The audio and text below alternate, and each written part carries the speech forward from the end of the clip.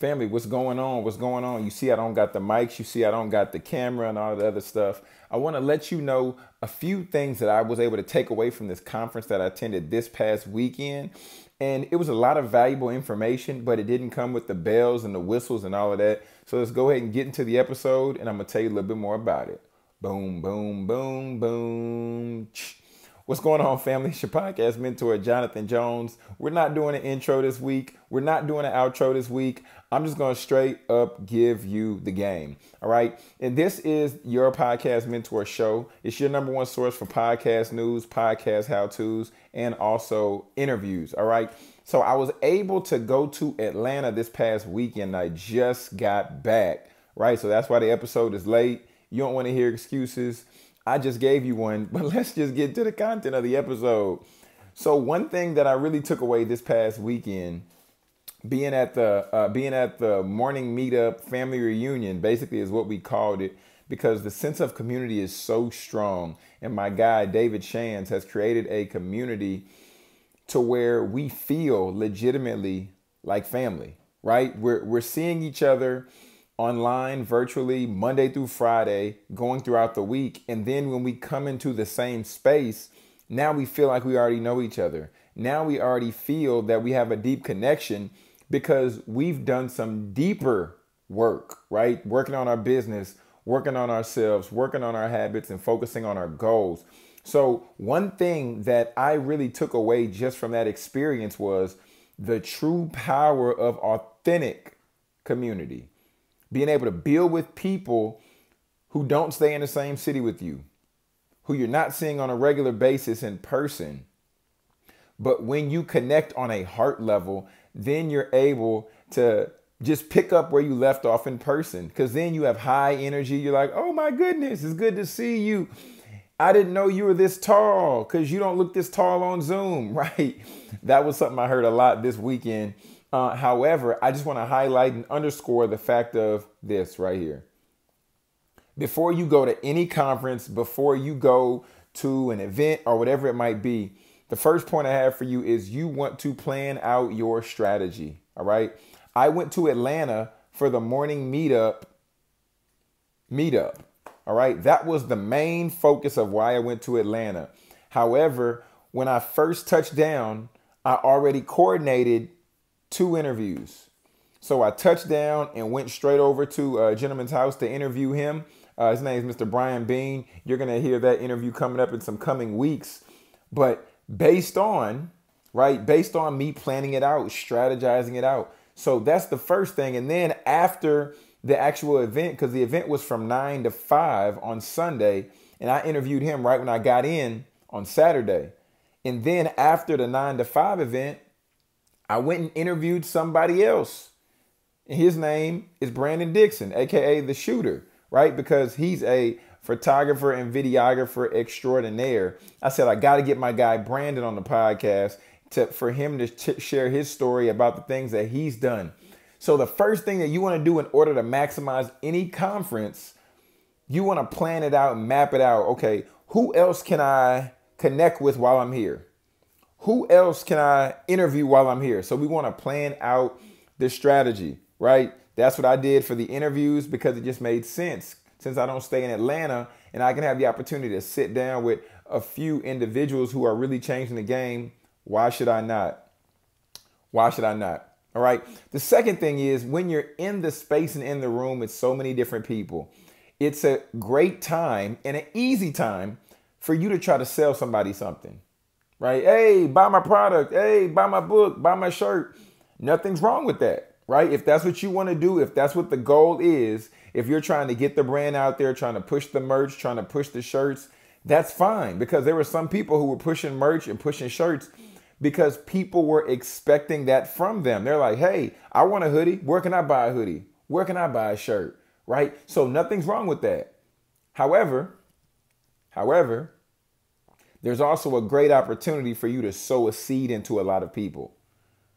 People have recognized me based on that community. They're like, oh, John, hey, some people didn't even call me Jonathan. Some people said, hey, it's the podcast mentor. Hey, your podcast mentor. And I was like, yeah, what's up? What's up? And then there was a few people that asked me some questions and then I just wanted to just share some insight and just share some game about podcasting because that's what I'm passionate about. And I'm really passionate about helping people establish that platform so that they can profit from their podcast, right?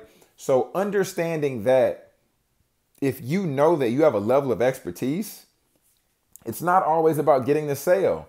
Because if you just go in focusing on getting the sale, it's transactional. The relationship from that point forward will be transactional. If you've never taken the time to build with somebody on a different level, if you've never taken the time to get to know them, hear more about them, learn more about them, it's gonna be it's gonna be a one-off sale. And that's great if that's what you want to do. But if you want to create longevity in a business, and if you want to create fruitful partners and people who are a part of a community, which is so much greater and so much bigger, keep that in mind. Sow into people, pour into people, create authentic conversations, right?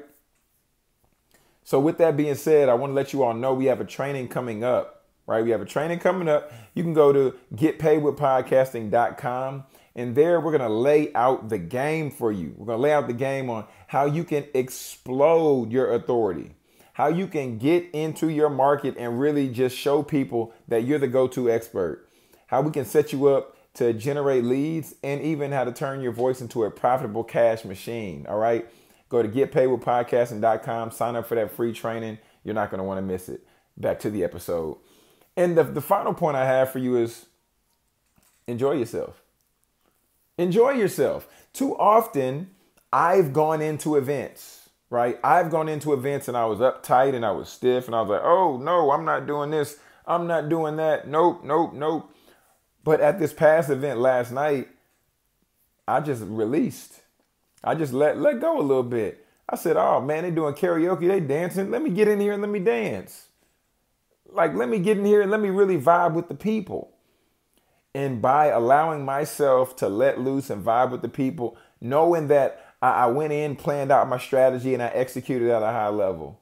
Knowing that I worked hard and was taking notes and was diligently paying attention, I was in the front row, jotting down all the notes that I could get. Knowing that I was a student of the game yesterday, knowing that I was focused on hearing what's said and seeing how it can be implemented into my business I then had to understand you need to let go a little bit. You need to release a little bit. You need to allow yourself to have some fun. So, what did I do? I did just that. We're dancing, we're moving, and we're grooving. And they had a great time. Had a great time. And I even had the ability to connect with some other people in the community, right? They had the music going on, they had the karaoke happening. And then I was just moving around the room, creating conversations with people that I've seen before on screen, online, but I didn't have the chance to individually build with them until this point at this level. So I'm going over talking to people, having conversations, getting to know more about them outside of just their business. When you begin to talk with people and get to know more about them outside of what they do for work what's their business. Now you're taking it a step further to really creating relationships, right? Really creating relationships, intentionally building with people, intentionally taking time to show these people that you have a genuine interest in them. So, with that being said, if you want to know how to maximize, you want to know how to maximize an event a conference, wherever you might go, a networking event, do these three things. Here's the recap in case you're asleep, wake up. The first thing you have to do is you have to plan your strategy out before the event, right? What's the goal? What do I need to get out of this event, right? Like I said, I got the two interviews, and then I also got great notes and great information during the event. That was number one. Number two, I shared my expertise. I was connecting with people. Some people asked me a few questions here and there, and I was just sharing my expertise. I was just sharing how podcasting can be beneficial for some people that I knew had businesses or maybe never even thought or considered to have a podcast. And then the third one is I let go. I allowed myself to enjoy myself. Why not? We work so hard sometimes Why should we not give ourselves the opportunity to enjoy ourselves? It's your podcast mentor, Jonathan Jones. Once again, if you're a speaker, coach, or consultant, you want to go ahead and go to getpaidwithpodcasting.com, and there you will be able to sign up for the training showing you how to get them leads coming through the door like crazy, how to turn your voice into a profitable business, and also how to explode your authority like never before. GetPaidWithPodcasting.com. I'm going to have all the information down in the show notes there for you. You all know this is your spot, your space for podcast news, podcast how to's, and interviews because we want to help you establish your platform so that you can profit on purpose from your podcast. Till next time, peace. God bless.